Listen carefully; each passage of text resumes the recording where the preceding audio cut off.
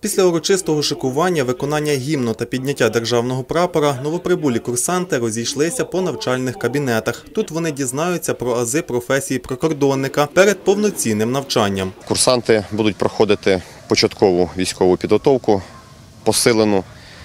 Е, Основна увага буде приділена практичним питанням військової служби, побуту військової організації організму, а також елементи е, введу в дію професії прикордонника. Загалом цьогорічний набір курсантів прикордонної академії збільшений. Державне замовлення становить 400 осіб. Це на 25 більше ніж у минулому році. На деякі факультети конкурс на одне місце був досить великим. Відібрали ми, звичайно, найкращих.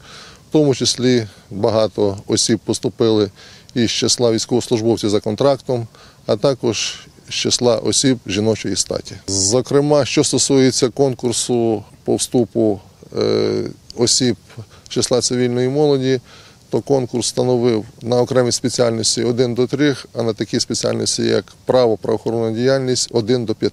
Із числа тих, хто пройшов відбір, Андрій із Новоград-Волинського. Хлопець першим днем табірного збору задоволений. Каже, готовий до всього, бо батько і старший брат є військовими. Через це знає про військо із перших вуст. Прикордонник це незвичайний військовослужбовець, це набагато цікавіше, краще та прогресивніше в плані служби. У тебе завжди буде робота, оскільки поки є країна, є кордон. Мій брат казав мені, що ти приготуйся, буде досить, може, спочатку не звично, але ти втягнешся, як він сказав, і все буде добре. Близько місяця курсанти будуть знаходитися на полігоні, а вже з 1 вересня розпочнуть навчання усіх тонкощів охорони державного кордону у стінах навчального закладу. Тоді й складуть присягу на вірність українському народові. Максим Поспліта, Роман Судаков. Головні новини Хмельниччини.